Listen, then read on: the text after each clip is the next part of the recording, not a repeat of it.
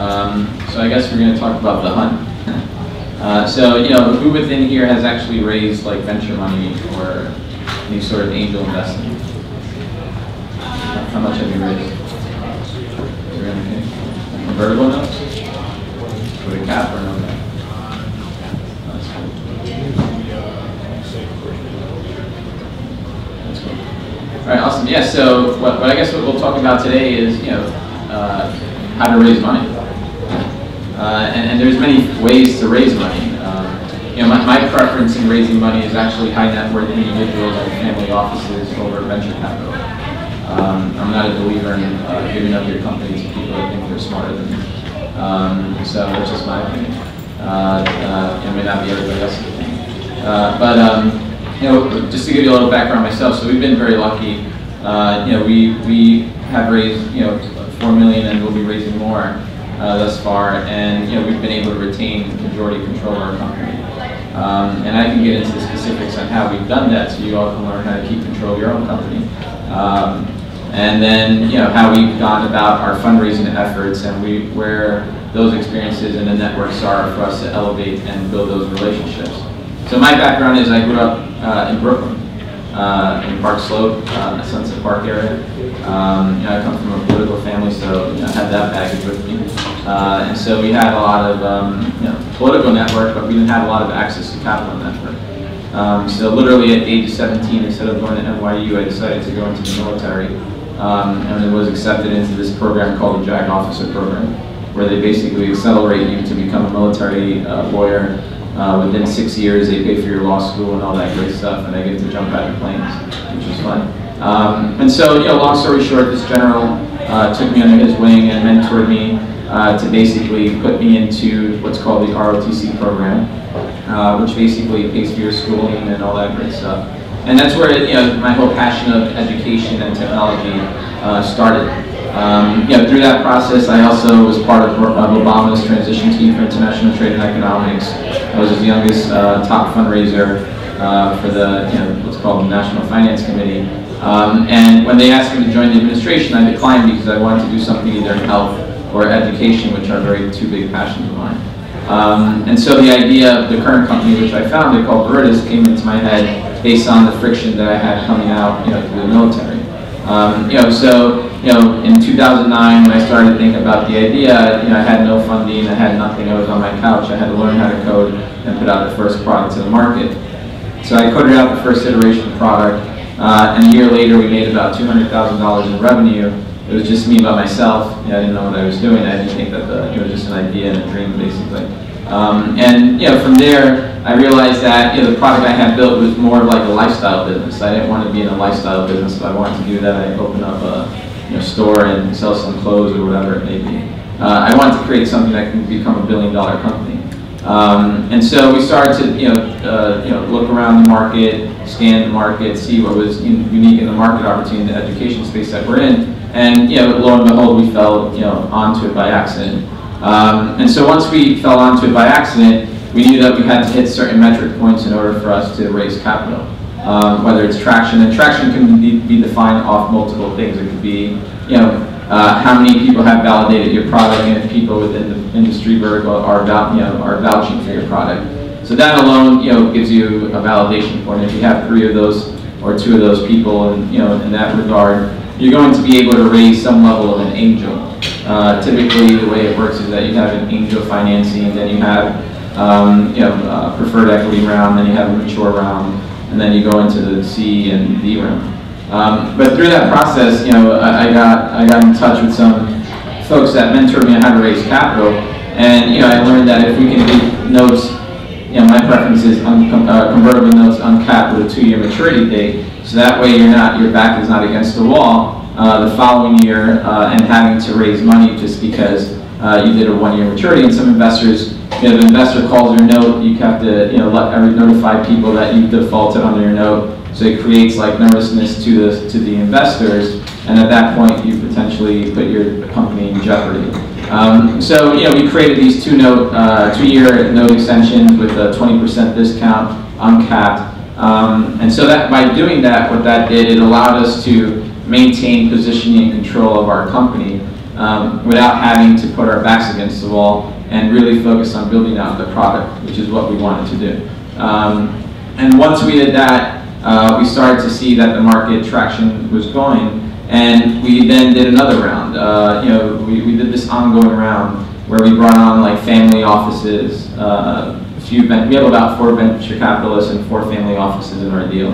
Uh, some of them are like Comcast, Atlas, uh, then we have like the Blue Ridge, uh, Blue Ridge founder, you know, we have you know, some other folks, I'm happy to put you in touch with them. Um, and you know, we, we raised money this time on a note with a cap, right? So we raised it on a cap so we can start gaining a sense of, of the pulse of where the potential valuation of the company may be. Um, and our, our cap note was pretty high.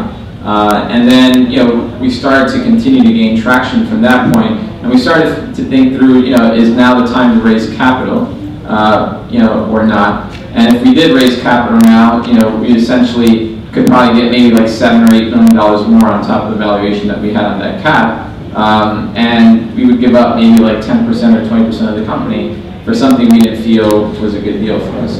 Um, so what we decided to do was basically focus on taking the company, you know, revenue positive, or you know, getting gaining more validators. Um, and these validators, you know, could be individuals that sign like a hundred thousand dollar deal with you, you know, fifty thousand, sixty thousand. You know, Salesforce started with a ten thousand dollar deal, um, and you know, and, and, they're like massive, right? So, um, and so based on those, you know, positionings with the contracts, and based on these people who are industry experts and validators, we now are well positioned in the market to have a substantial valuation at a, you know, whether we decide to raise 5 million or 10 million or 20 million, whatever it is that we want to. Um, and, you know, if you're ever in a position where, you know, you're right at the brink of potentially hitting cash flow positive, but your notes are like going to be, you know, maturing, you know, say like in four months, you should never feel pressured that you have to go raise capital.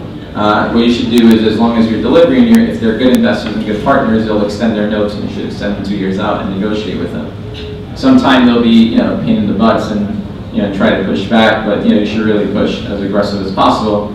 And another thing that you can do, and you know, you let me know, you know uh, how much detail you want me to get into in financing, but you can actually do, if there is an investor that's a pain in the butt, you can actually do a roll up where you bring in like a high net worth individual buy out their notes on their uh, loan you know, percentage and have them give you another million dollar infusion or whatever the number is so you can do an extended um, you know, bridge which will allow you to maintain and continue to grow um, you know, to be you know, uh, at a higher valuation.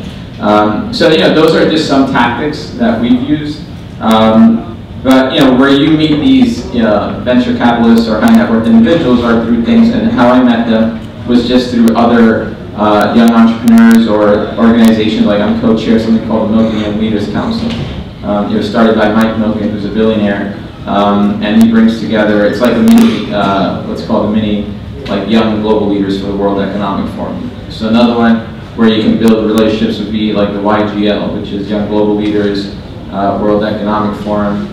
Um, you know, there's things like DLD, which is a digital life design, um, in my opinion, it's probably the premier global tech conference uh, because everybody before going into Davos, uh, which is the World Economic Forum, stops you know in Munich and then heads over to um, you know. So you'll meet like Carlos Slim, or you'll meet people like Ricardo Salinas, or you know, or people like um, you know Jeff Bezos. I mean, they're all there. Uh, and it's an invite, you know, only type of setup. Uh, the other one, which is interesting, where you can build your network uh, at a very high level is called Techonomy. Uh, they're actually based in New York City. Uh, they actually have, I spoke at their last event, they have something going on right now in Detroit. Um, you know, some of the other places well uh, are, um, trying to think off the top of my head, um, you know, things like, uh, you know, uh, what is it, Sun Valley. The, Sun Valley is interesting, so they have one that's like pre, um, you know, startup, so basically entrepreneurs that are not like Zuckerberg level, but you know, starting out. Um, so that's like started by Allen Company. Uh, so they basically have a lot of good uh, network, and these are like networks at like the highest. You know, I'm talking about like the highest level. You know, where the founders of Google go. Uh, you know, so it's pretty unique access to to to network. Uh, and that's how I built my access. I started, you know, I got mentored. I started going to these conferences. I became like co-chair of these young leaders or whatever it may be. And that led me to having credibility when I would go present in front of venture capitalists or family offices uh, to gain that. I never built out a business plan. I just think that's a waste of time. Uh, you know, I never, you know, projections, uh, you can project that you're going to be a $100 million company. The reality is they're worthless uh, because, you know, things are going to change. You know, if you don't have multiple pivots along the way, then your company is not going to be successful. Um, so I'm a big believer in having like 20 slides that just tell your story, but a story that could be, you know, um, defensible. A story that could be, you know, told in a way that shows, you know, that you're thinking through the strategy in a way to take it to scale. And once it scales, what happens next? Um, and then it really comes down to the founder, you know, how animated, how, you know, how, you know, lovable or you know, excited they get by you, by your energy, um, and whether you connect with them. Um, you know, and, and if you don't connect with them, then it's not going to happen. You, you also want to make sure when you're working with investors that it's not just about that partner or that investor. You want to meet like their whole entourage. Uh, because what happens if that venture capital partner, in the case of VC, if the VC partner leaves the firm and you have no access to the other partners, your access to that firm is very limited. Um, and so you always want to build access to all the partners, and that allows you to even build a greater network uh, that they may have that that partner may not have. Um, you know, the other thing is that uh, if you're dealing with family offices, they tend to leave you alone uh, most of the time, which is great, um, and that's awesome. And they tend to have a great network, um, but they're a little bit more cautious of opening up their network because of the names that they are and the families that they have around them. Um, you know, so when you deal with them, you approach them with like, uh, you know, uh, with what I call like, you know, a, slower approach than you would with like a VC. Uh, but they, they'll be very, very, very helpful as well. Um, and so, you know, and, you know, as we continue to look at the landscape of, you know, investment within Latino or African American startups, um, there are, are funds that do focus specifically on that, right? So like Comcast Ventures, you know, they have a $20 million fund that focuses on on, uh, on minority entrepreneurs. We, we happen to be, Tanya and I are actually two of their portfolios. Uh, I think there's only about like 20 or 30 Latinos that are venture back in the United States, which is a sad number. Uh, that's pretty sad. Uh, there's more African Americans, which is great. So, uh, yeah, go ahead. Why do you believe that is that's so? Why is it there's so many people? Yeah, so I think, you know, it's interesting. So I think it's a couple of factors. One is, you know, you know, it's, it, you know, taking the military mindset that I learned in the Army and applying it to entrepreneurship has been very beneficial to me, right? Because like there's nothing that can stand in my way, you know, at all. Like I don't care what wall we have to get through, we're gonna get it done. And so, you know, Latinos by nature, at least you know, in our case, my mom would always say to me, I don't need the pobrecito. So you have that mindset that your mom is always feeling like bad for you in some capacity. So it creates like a limitation factor. The other thing is that our communities the ones, the Latinos that have made it, the African Americans are better structured in this actually. But the Latino community is not. There's no, there's no network of access to capital, right? Because the older, like what I call them like the, the elders, they don't want to give back. They, they don't understand technology, right? So you have like folks that have done very well in tech, uh, in media, entertainment, and Latino community that don't. But then you have people like in real estate, like Don Peebles from Florida and all these other folks. They invest in tech. I mean, they, you know, they, they, have no problem writing a check. But so, so that's the big issue uh, that occurs. And then also, it also has to do with your network, right? I mean, if you have no access, to, unless you go to Stanford, Harvard, Yale, uh, you know, and all these great top uh, one-tier schools, you have a limited network. So you have you're already three levels, four levels, you know, behind. You're trying to get, you know, catch up. And so that's why, like, for me, like, I could have gone to NYU, I chose not to. These networks that, you know, I just mentioned, are at the highest levels. You know, and that's that's where you build the network at the highest level, so you have access to that level of capital, right? Because when you walk into the Milken Summit, you're to be you're going to see the founder of Blackstone, the founder of BlackRock, the founder of you know Starwood, or found you know all these are all founders, and as a founder, you should only be dealing, in my opinion, you should only be dealing at the founder level. Like I don't want to meet with the vice president. That's not. I'm going to let my my chief operating officer meet with them it's not an arrogant thing, it's just like you have to position yourself as I'm the founder and the CEO, and that's where I'm dealing at. Um, you want to, you should, I mean, the way I position is like you should be meeting only with like you know, uh, the top tier. And if you're dealing in government, you're going to be only with like the governor and the president, right? So, um, you know, that's that's the mindset to have uh, when you're you know doing this in, in the entrepreneurship world, and, and, it works well if you can do it, you know, you know effectively. So uh, I forgot what I was saying. uh, yeah, so you know, so basically, um, you know, so you have Comcast Ventures, you have something called uh, there's an investor. Uh, well, you have a New York City Partnership Fund. It's run by a lady named Kathryn Wylde, um, and you know they invest mainly in health and bioscience. Um, you, you have another uh, you know, uh, fund, um, what's his name? Um, you know, the Johnson family started BET, so they have a family office. They're based in uh, Washington, D.C. Um, yeah, so there's a lot of, there, there are some funds out there that focus on Latino, you know, uh, African American minority, you know, in, investment. Women, there's for women, there's called Golden Seeds. Golden Seeds actually received $50 million from the state of New York to invest in female entrepreneurship. There's also Joanne Wilson um, as a female, who she's a big investor uh, in, in female startups. Um, and so, you know, th there's access, if, if you want money, you're going to be able to find money, you just have to have the right connection point to money. The, the other thing is that, you know, if there are entrepreneurs that have been successful in raising capital and they introduce you to that capital, then you're more like, you, you have a higher ability to potentially close that deal because that investor will trust that entrepreneur's judgment, right? So if, instead of you doing a cold call, if you're introduced, you know, by someone that either sold the company or has raised money and they're doing well, then you know you're going to be in a better position. Um, and then the other thing is like New York Tech Meetup. I'm sure you guys are familiar with it. Um, you know, it's not just attending it, but it's showcasing your product in it, right? I mean, you want to be showcasing it there. And you know, Andrew Rasiej, he, he, runs it. I'm happy to put you all in touch with him. I'm sure he'll love all your emails.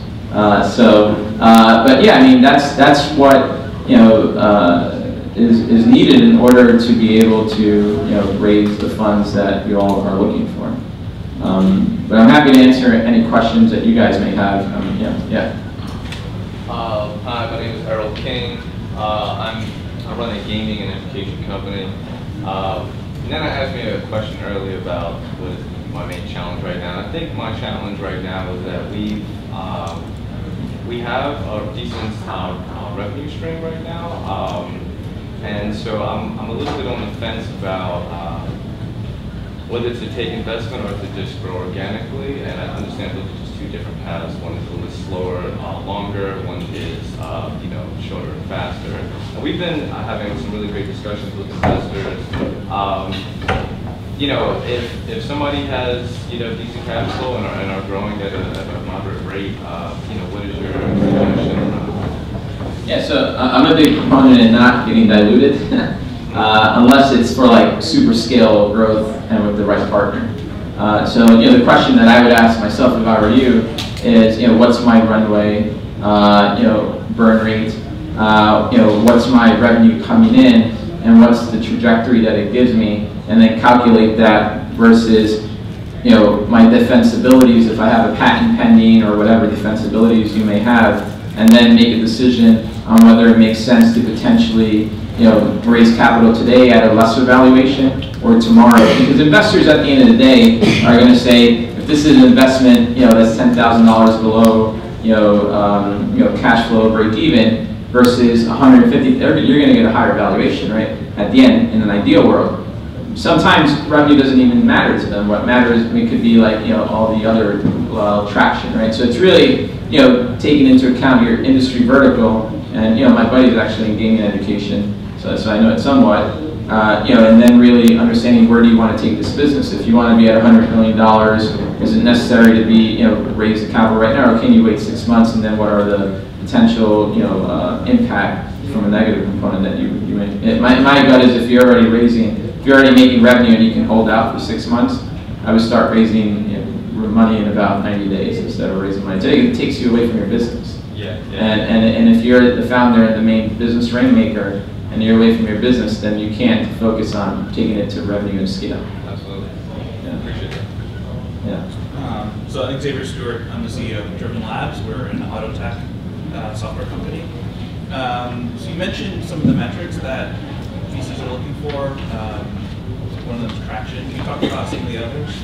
Sure, yeah. So I, I think that, uh, you know, metrics are determined based on your business, right? I mean, for us, our metric is not how many users we have, it's how many, how much revenue or how many contracts and what the lifetime value of the contracts may be, as well as what's the calculated uh, acquisition cost for that customer and the conversion rate on that customer increasing. So, you know, whereas like if you're in a social media app, you know, they're gonna wonder about unique hits and all this other, you know, users and all this other great stuff. So it just really depends on your industry vertical. Um, and that's how you determine that, right? Like you're in what industry are you in? Uh, so So is it more of like an enterprise sale product? Yeah, so they're going to focus on, you know, what is the calculation to acquire customer acquisition?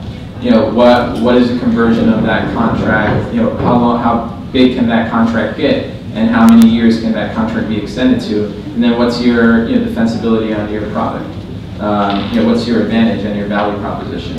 And you know, if you're an enterprise, if you're selling B2C, then they're going to wonder about your marketing. You're selling B2B, then you can reduce your marketing costs, but then you're going to need salespeople. And if you can create a sales force structure that you know is mainly you and someone else, then you can you know execute and implement fairly well. So, quick question, my name's Ben, I run a company called Youngster, we're, I guess, typically, uh, education and technology. So, one of the questions I had was, most recently, we built a relationship with Angel, I guess, that, but great person. He wanted to bring some fund and VCs to the table, which we weren't sure if we were ready for that. But what's your, I guess, thought process behind that? Because right now, we're out of beta, getting ready to launch here very soon, just didn't know which route to go with that. Yeah, I mean, uh, yeah, I think it really comes down to you, right? I mean, if you're, if you feel in your gut that you're ready uh, to take on capital and that fiduciary responsibility and make it into, uh, you know, what they, in their mind would be like a, a, a real company, um, then that's what you should do. Uh, if you don't need their capital today, or if you're, you're not sure, you've just never been in that scenario, then it's just more of a sense of getting comfortable with them. And what I would do is I would vet all of them. I would, I would want to get in touch with uh, founders that they've invested at that have had negative outcomes. I would want to get in touch with founders that they've invested at that have had positive outcomes. So I want to know the good, the bad, and the ugly um, about these folks, right? And, and so that's how you really can tell about an individual. Because at some point when you get married these, with these people, there's going to be friction. I mean, I mean, it's, it's impossible to be in business and not have friction, you know, of some capacity. Um, and so your interest may be misaligned with their interest, and so your heads are going to bump, right? So that, that, brings me back to something that's very important. Like, you know, you know, as you do your deal structure with your early angels, I would highly recommend that you, you basically create a voting right agreement with all of them, so you control their voting rights at all points. Even if you're diluted ownership-wise to like, you know, 27%, you still control 53% of the voting rights. And then when you do your board structure, uh, you know, you, you basically give yourself two board seats so now you have two votes, and then you bring on board, board member, and you have five board members. You control the company. Another way to do it is that you basically uh, make yourself the controlling, um, you know, factor in the administrative uh, plan, which is the issuance of stock of everything.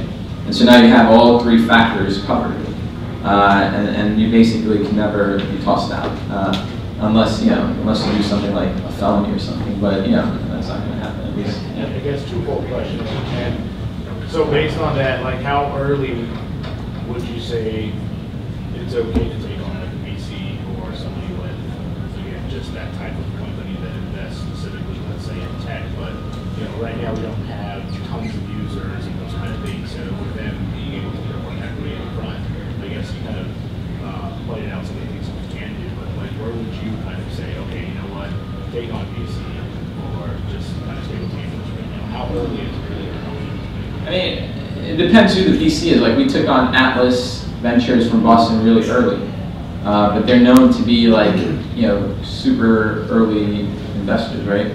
So it just depends on the DNA of the venture firm. Um, what I would do is I would split. I would do an angel and a VC. I would never have just one investor because uh, you know you want to have at least two. Uh, you, know, you don't want to have a hundred, but you want to have two, right? I mean, or, or multiple investors. Um, So, you know, I, we brought him on before we, you know, we just had like the concept idea. Uh, and, you know, we brought him on at, you know, for like a quarter million dollars or something. Um, and, you know, then, you know, we're able to take it from there and continue to scale it. But again, it really depends on where you're at with your evolution and where you feel comfortable with them. But I would diligence them. Any other questions? Yeah. You can actually pitch during just the concept there? I'm new to You can pitch with the napkin, man. Yeah. So, uh, you know, what you're selling is yourself, right? I mean, an entrepreneur is a salesman or a saleswoman, you know, and and you're always selling. I mean, you're, you're going to sell, you know, to you know to, to the investor. You're going to sell to your customers. You're going to sell to your colleagues why they should come on board and be part of your team. So you're always selling. So you know, as long as you have a thought out, you know, product of some sort, uh, and you can speak to how it can be executed in your mind, and people get excited about it, then yeah, they would come in. Good question. Uh, When you met with any of these investors, institutional or uh, private, were there, was there ever a question that you were asked that was uh, unique or that you were caught off guard, you weren't prepared for? I mean, investors ask all funny questions, man. You know, they, they ask, you know, why are you wearing sneakers? I mean, I never went in a, in a suit or tie or even a button-down jacket to see these guys. I mean, I, this is, you know, this is how I went. Um, yeah, they, they, they ask like all crazy. I mean, I got asked once what kind of dog, what kind of animals I like. Who's trying to, you know, measure my algorithm if I fit into their algorithm. Um, know, so, so, you know, you get really stupid questions, and sometimes they'll piss you off. But you know, you can't you can't show that, right? I mean, because if you show someone that you're angry or they've gotten under your skin, you become the weaker person, right? So you always want to be like very calm, cool, collective, and have a straight face with these guys, because then they can't read you. And if they can't read you, they get excited by you. It's kind of odd, but it's interesting, right? Uh, and and if you can handle the pressures of what they're going to, because they're going to put you through a mental, you know, what they'll do is you'll meet with one one partner, the partner will say, I'm bringing in my analyst, analyst will diligence you, you know, they'll probably try to find out where you were born, you know, all that crap. Uh, and then you'll come in for a partner meeting. So there in the partner meeting, usually there's like four, you know, how big the fund is. Maybe I've been in a partner meeting where there was like 20 partners, all right? And so, you know, they, they're there to like, you know, just slam you, like, you know. And if the part, this is how you know if your, your investor is a good guy. If your VC guy is basically softballing you questions, then he's a good guy. If he's like there trying to drill you and stab you, then he's not the right guy. And, and, and you can read that. You can read that body language when you're in that room. I mean, it's all about how well you can read that and, and connect with that energy. I'm very big on like the energetic connection with like the people you do business with. Um, how often do you report back to them, and have you ever turned down investments? Yeah, we've turned down a lot of money.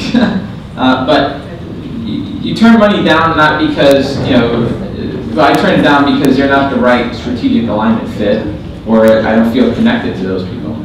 Uh, you know, or, I, you know, it's just like, it's my gut, right? I want their money. Um, but, you know, I, we do, you know, so we do a couple of reporting mechanisms. So uh, we have a monthly statement P&L that goes out to our board members. Um, only investors above a certain threshold will have our P&L. Uh, you don't want to get into a situation where if you have 10 investors that gave you $100,000 and one investor, two investors gave you 500 and then one wants a million, you can't give, possibly give all of them the same, uh, you know, ear time. It, it just doesn't make sense. So you should focus, you should draw a sand line, and your sand line should be, if I raised, you know, whatever, uh, $3 million, I'm only going to focus on giving P&Ls, you know, to, uh, to the, you know, 500,000 and above. Because otherwise, you're going to become an investor relation person, and your job is going to be 100% on that. And, and, and you can't do that. So, um, you know, what we do is we send monthly P&Ls, monthly statements, once a month with the overview update of our traction. So, you know, like whether it's product operations, um, marketing, sales, design, our numbers, our revenue, uh, and then we have a monthly uh, advisory call, uh, which they're invited to. They don't show up, that's not our problem. You know, we're doing our job. Um, and so that usually takes 30 minutes. So that's, yeah, that's pretty much the interaction that we have with them on a monthly basis. The, the bigger ones, uh, I'll tend to focus on a little more. You know, like, yeah, you know, spend more time with them and try to, you know, keep them engaged. Um, but, you know, the other ones, you know, you just keep them up. They're, they're just happy to be in the deal. You know, you know, to to them, they think they're lucky to be involved, right? So that's the way you should position it, those guys. Any other questions?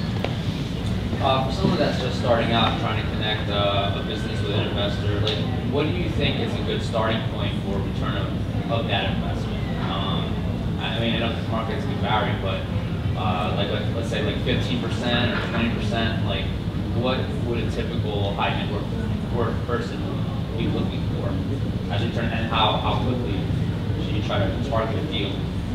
So your question is like, what should be the equity stake a high net worth individual should take in your business when you raise capital? Right, or, or the, or say no equity, but what, so how, what percentage of a return should you try to target to keep that net, high net worth person interested in the deal? Yeah, I mean, I, I think if you take it from that approach, you're never going to raise money, Right. right? I mean, it's just the reality because you know, you, you if you your job should be to get them excited about you and your product. It shouldn't be to get them excited and you positioning that this is my return. Right? For that, they can leave their money in Goldman and Tanya's friends can manage it, right? So, you know, that's that's the way to position it. Uh, and you know, for again, I go back to uh, you know, the, for the early investors, you know, just do it on a convertible debt. A lot of them will say, oh, we don't want to do convertible debt. I mean, it's a risk, right? Because if they pull out of your company, I mean, you want to have D&O insurance to protect you against bankruptcy, right? That's an important thing. Um, and then if you want to have it layered based on the amount of money that you've raised. Uh, but you know, but basically, yeah, that's the route to go. Uh, from uh, and if they choose to want equity, you know, tell them to give you a, a you know a million dollar, you know, five hundred thousand dollars at like, you know, and, and you value the company at like two and a half, three and a half posts, right? So they have like ten percent or something, um, and that positions you well as you go to the next level so that you can only go up. If you oh, if you do ever do a down round where you do like 40 million and you come down, that impacts you and all your investors. So you never want to overvalue, but you just want to value just right. VCs look down on you going into them with three or four convertible agreements like on the books already. Yeah, I mean, if they did that, they would have never invested in it. I mean, it, it- that- what makes you think that? I mean, I just I've heard from. No, I mean, that's, that's not accurate. I mean, that hasn't been the case with us. Uh, I mean, that's never been an issue with, with us when we raise money. Um, you know, but they'll want to make sure that the notes are up to date and everything is aligned and all that stuff, uh, and you're not in default. Uh, but yeah, that's pretty much it. As long as you keep that line structure, your cap tables up to date. Um, I'm assuming you have a law firm. Um, yeah, so they should have all that in place. So you, you should always be ready, with, you know, uh, with your cap table and, and all those documents. Yeah. So I'm Nina Cuomo, we've never met before, but I'm the founder and CEO of Student Dream, and we train underserved college students on how to launch earth-shattering startups. And so as they're preparing to go into these meetings, what would you say is the best way to prepare? Because I think you've thrown out a lot of vocabulary that's been. Um, so aside from kind of just knowing the basic documentation, et cetera, what would you say are some ways to prepare for these types of meetings with investors? I mean, it, it just really being yourself. I mean, if you try to be anyone else, you know, you're going to fail. Uh, I mean, I, I just went as myself. You know, I was very excited about my product, about my vision, and about what we've developed and the impact that we create. You know, showing that passion and that desire that it's not about the money, it's about the outcome and where you want to grow this, and making sure that your thought process is calculated to be able to explain from you know where you think it can go to where you see it going and how you can get there. That's that's what they want to know. They want to know that your brain thinking pattern uh, is you know, uh, evolving in that way. They know that you don't have all the answers today, uh, but they know that you're able to articulate it in a way that allows you to grow that in a, in a positive direction. Any other questions? I'll take this one and then have to stop. Thank you. My name is Joseph. When you did, when you pitched your concept, right, that's what it sounds like when you went uh, to your investors, you pitched a concept, and they bought not only into the concept that you was did you present a, a projection of, you know, uh, what the business could do potentially, or was that even part of the equation of discussion? Yeah, when we did our first, uh, you know, 200 something K, you know, we didn't have any projections. So it was just me with my, uh, myself. uh, and they gave us money and said, you know, all right, now go build a team and, and bring a team together and, you know, come back and see us in six months and we'll see if you've grown and if you've done well and we'll give you more money. Um, so it, it depends on the investor. Uh, it depends on the circumstance. Uh, we've been, we were fortunate at that point when we were there at that level uh, that we didn't need it then. Uh, but if you do need to come up with projections, just make sure there's something that are somewhat, you know, you can talk through them. Um, and they are not, you know, I'm going to be a billion dollar company in three years. I mean, it's an ideal world, but you know, you want to be realistic as well. Sure. Can I just ask a follow-up question? So, uh, setting aside the projections, were you, in terms of a market analysis and really identifying your subset of that market, was that part of the discussion? Yeah, I mean, I, I knew my market uh, in and out. I mean, I, I- I can, we're in the education industry. I mean, I, I- can go toe to toe with any chancellor on, on education. Um, so, you know, yeah, you have to know your market. I mean, uh, at least, you know, for our industry, you do, right? Because there's a lot of policy implications, there's a lot of issues that could be around that. And if you don't know what you're talking about, you're gonna look like an amateur, and you're gonna say, I'm not, this is too high risk, I'm not gonna come in. Um, but it, it depends, it varies on the uh, industry. Anything else? All right, we're done. All right, well, thank you so much. All right, bye.